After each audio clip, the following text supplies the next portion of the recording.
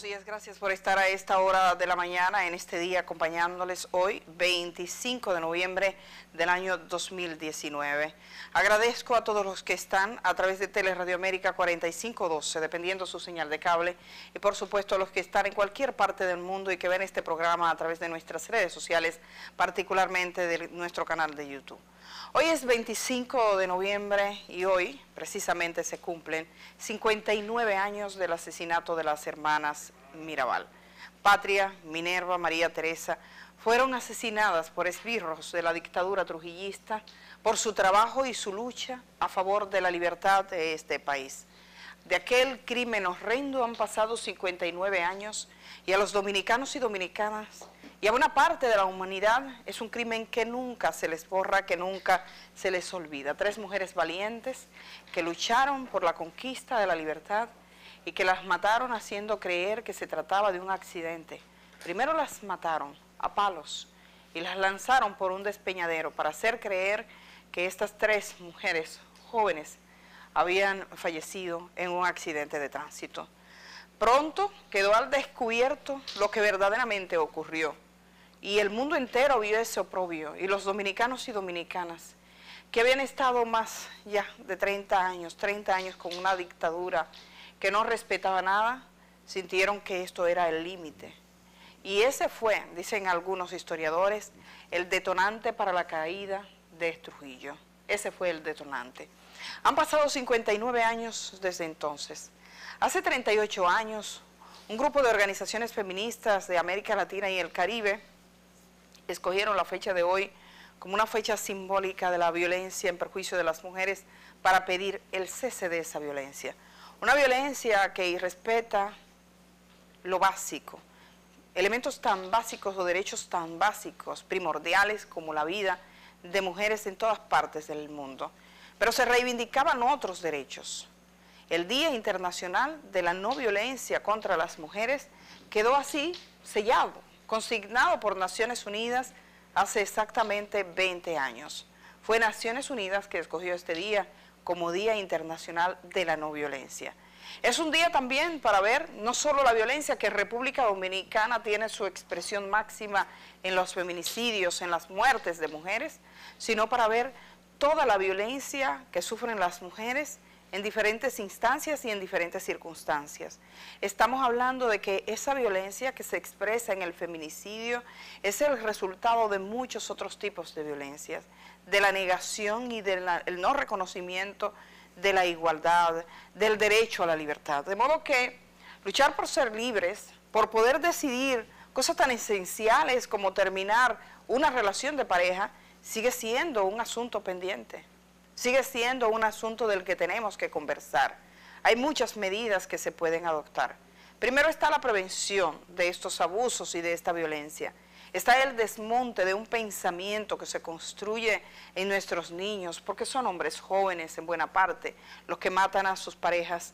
Es en el sistema educativo es en la educación, es en la manera en que se propagan prejuicios en nuestro país, es en la manera en que los medios de comunicación cuentan los hechos y cuentan la historia, donde muchas veces se culpabiliza a las mujeres por lo que por esa misma violencia. Entonces, hay que trabajar con eso, con la educación, con la prevención, es decir, tenemos unos derechos, esto no debe ocurrir. Esto no ocurre ni con las bestias, no hay bestias que decidan que se emparejan con una y van y cogen y, matan. Eso ocurre con seres humanos que han perdido el sentido, que han perdido el horizonte, que no son capaces de respetar las decisiones, la libertad. Eso ocurre entre nosotros con demasiada frecuencia. República Dominicana está situado como uno de los países con más altas tasas de feminicidio en el continente. De ahí que la situación en este momento sea especialmente mortificante y sea un llamado de atención que uno puede ver cómo buena parte de la población dominicana se ha sentido identificada, identificados hombres y mujeres con ese llamado. Ayer estuvimos en la Marcha de las Mariposas, una, un encuentro, una convocatoria que se hizo para llamar la atención sobre este tipo de violencia en perjuicio de las mujeres para pedir su erradicación. Por supuesto, para llamar también a los actores públicos que entran cuando las mujeres tocan sus puertas para denunciar que no es posible llegar a acuerdos con los feminicidas o con aquellos que han intentado el asesinato, para decir que no se concilia con la violencia, para prevenir que en este tema tampoco puede existir corrupción como la que se ha dicho existía en San Pedro de Macorís. Esas son las cosas a las que aspiramos y ese fue el llamado y quiero dar las gracias porque me siento tan parte de ese encuentro de ayer, porque como ustedes saben durante todas estas semanas estuvimos desde aquí promoviendo y diciéndoles vamos a la marcha. Yo quiero agradecer en nombre de toda la gente que trabajó, de todo el que colaboró, muchas manos, muchos esfuerzos, muchos profesionales de diferentes áreas que ustedes no se imaginan, dieron su tiempo, sus horas, sus horas de trabajo de forma gratuita para que esa marcha fuera posible. Y por supuesto, agradecer a todas las familias, a los hombres, a las mujeres, a esos adolescentes, a todas esas personas que ayer hicieron de esta una de las manifestaciones más grandes con las demandas reivindicativas de los derechos de las mujeres. Vamos a apropiarnos de esta fecha, hoy 25 de noviembre. Es un día para recordar que se debe luchar y que se deben tomar medidas en contra de la violencia en perjuicio de las mujeres. Hoy mismo me llega la notificación y ahorita se las muestro de una mujer que está al borde de la muerte ahora en la provincia María Trinidad Sánchez. En la madrugada de hoy, pleno día 25 de noviembre, un hombre joven, según las fotografías que me están llegando, le dio decenas de puñaladas a su pareja y la dejó por muerta. Ella se recupera en un hospital y su situación es delicada. Ahorita les digo los detalles de este triste caso. Pero así son todos los casos que recibimos. Son familias destruidas, son hijos que quedan huérfanos en unos casos, que quedan lesionados de por vida.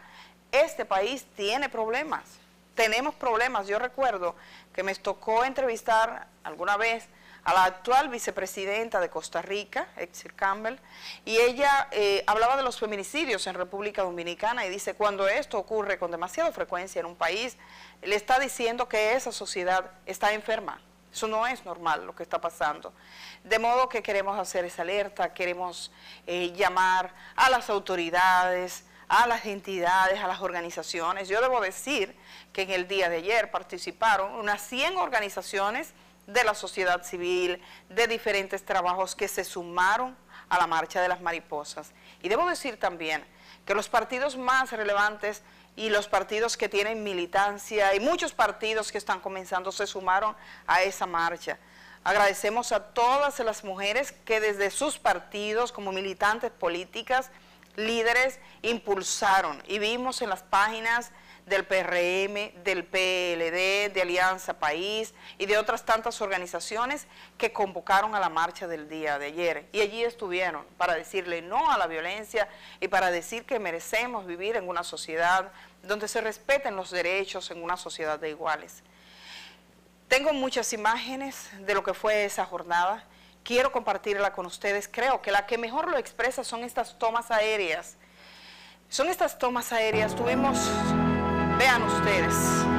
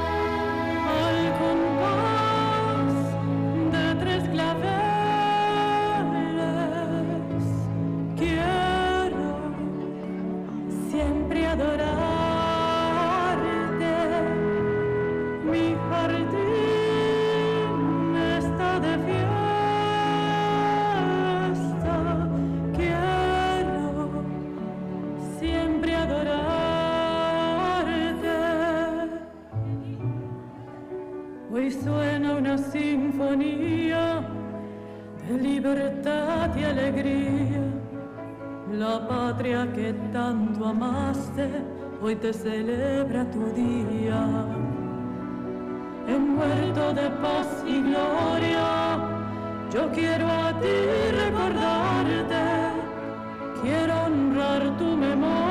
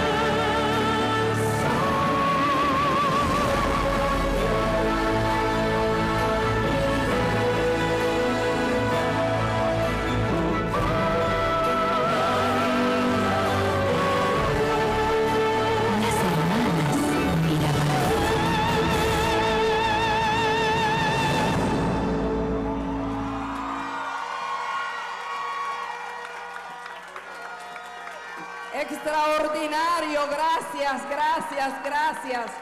Gracias a Dalguisa. Gracias, Natalie. Gracias, Maridalia. Gracias.